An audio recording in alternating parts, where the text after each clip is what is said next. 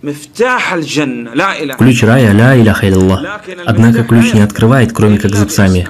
А этими зубцами является условие ля иляха илlallah. Тот, кто не придет с этими условиями, не принесет такому пользу ля иляха илlallah. Условия нет божества достойного поклонения, кроме Аллаха, восемь. Кто знает их? Маша Аллах. О, наши братья, пусть никто не говорит. Да-да, дай мне семь условий. Я добавлю восьмое. Первое. Знание. Что означает знание в условиях «Ля илях иляллах»? То есть, познаешь смысл «Ля илях иляллах» и «Мухаммадан абдуху ва расулю». Мухаммад – раб его и посланник. Знание, о его противоположность джахиль, незнание. Человек, не знающий смысла «Ля илях иляллах», не принесет такому пользу «Ля илях иляллах». Второе. Принятие. Противоположность принятия – отвержение. Значит, обязательно человеку принимать все, что пришло от Аллаха, и не отвергать даже одну букву. Да, затем. Третье – убежденность. И противоположность этому – сомнение. Если человек засомневался хоть в одном проценте из ста процентов единобожия господства, или единобожия божественности, или единобожия имен и атрибутов, или засомневался, что пророк Мухаммад, саллиллаху алейхи вассалям, раб, которому не поклоняются, посланник, а не лжец, такой не является единобожником вообще.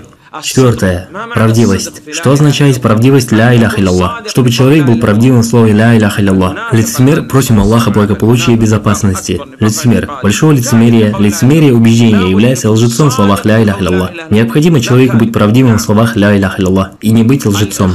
Да, продолжай. Пятое. Искренность и противоположность этому ширк, многобожие. Итак, у нас есть очень большая проблема, а это ширк, многобожие. Так как если многобожие войдет в поклонение, нарушит ее. Иногда человек говорит «Ля илях иляллах» и в то же время совершает жертвоприношение идолу, могиле, и не принесет такому пользу «Ля илях иляллах». У меня вопрос. Показуха в милостине подобны ли показухи «Ля илях иляллах»?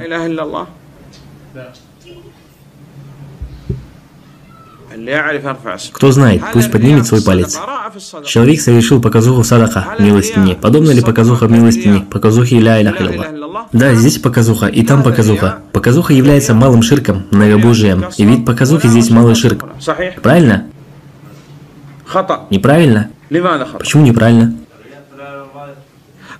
Если человек совершил показуху ля иляха не вошел в религию в основе вообще. Однако, если человек совершил показуху в садаха, в милостине, то это является малым ширком.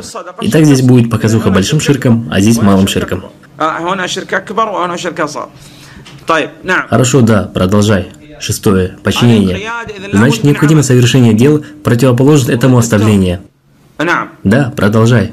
Седьмое. Любовь. Любить кого? Любить Аллаха и не любить кого-либо, кто бы он ни был, наравне с Аллахом, любовью одинаковой.